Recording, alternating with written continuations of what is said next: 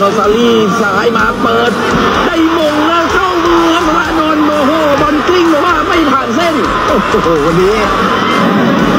ดูจังหวะโบงลูกนี้ครับนึกว่าประตูเห็นเห็นแต่ว่าคนนี้ไม่ยอมนักสลานนท์สองมือ